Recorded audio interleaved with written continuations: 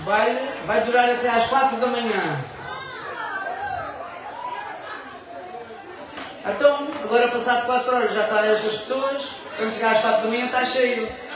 Raparigas e rapazes, não se fartem de bailar, só toco na minha gaita para vos ver rodopiar.